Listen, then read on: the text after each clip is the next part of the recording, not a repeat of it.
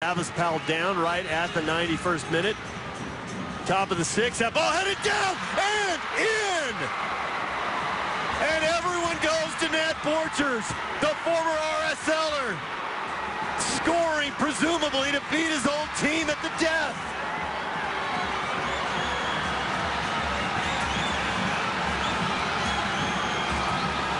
He doesn't celebrate out of respect, but